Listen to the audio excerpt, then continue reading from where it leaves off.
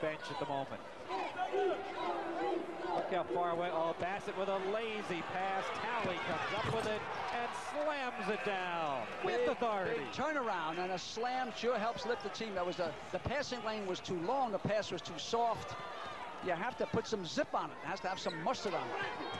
That was a very lazy pass. Talley read it well. Bassett with the turnaround hook. That won't go. Crashing the boards, but won't get it. And it's all VCU. Here.